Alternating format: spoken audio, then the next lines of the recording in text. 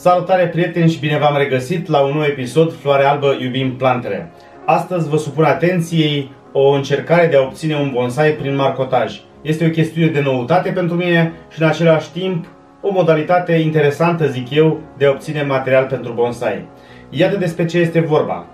Un ienupăr târător, probabil Juniperus horizontalis sau ceva înrudit. Marcotajul a fost făcut în mod natural, eu doar am profitat de ceea ce mi-a oferit natura. Dar haideți să vedem împreună filmul recoltării. Ce avem noi aici? Este vorba de o tufă de ienupăr trător. Și interesant este că acolo unde atinge pământul se produce un marcotaj. Și de acolo să fac eu o tăiere. Sunt mai multe crengi care au prins rădăcini. Eu voi smulge una dintre ele. Ia uite ce e aici.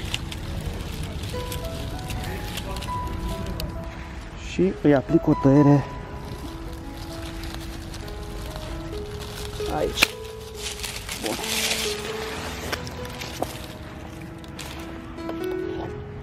Asta este ienupărul. Sper că are suficient de multe rădăcini și o să-l curăț de crenguțe.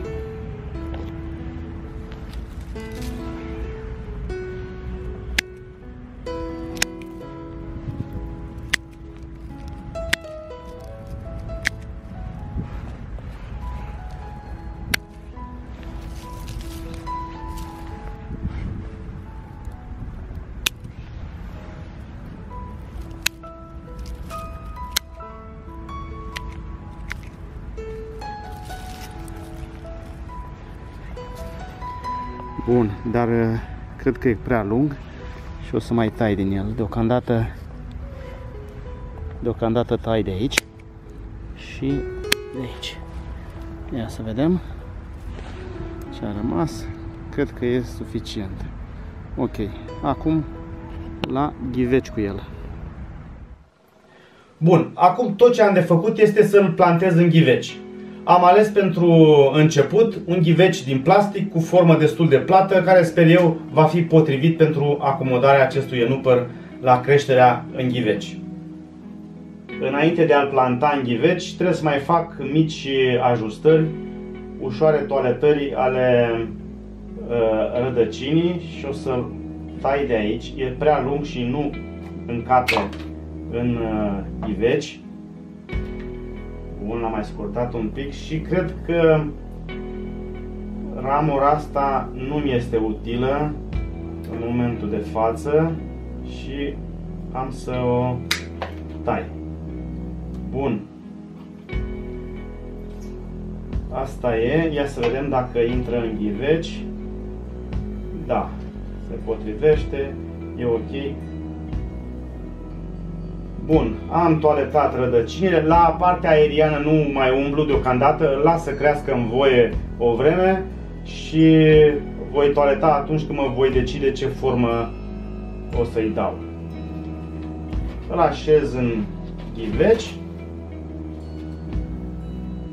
și completez cu sol.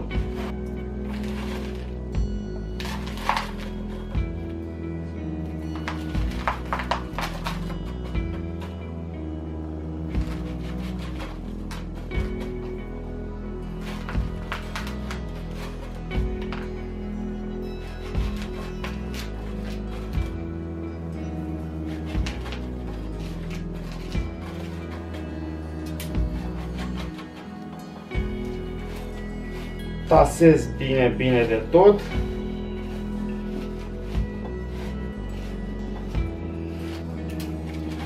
Mai completez cu sol.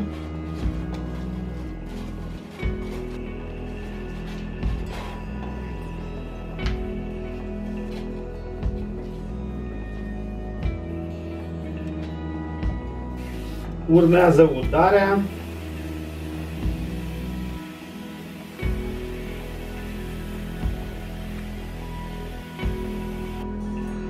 Pot să-i fac o rotire completă ca să îl vedem din toate direcții, deși în uh, stadiul ăsta nu prea avem ce vedea.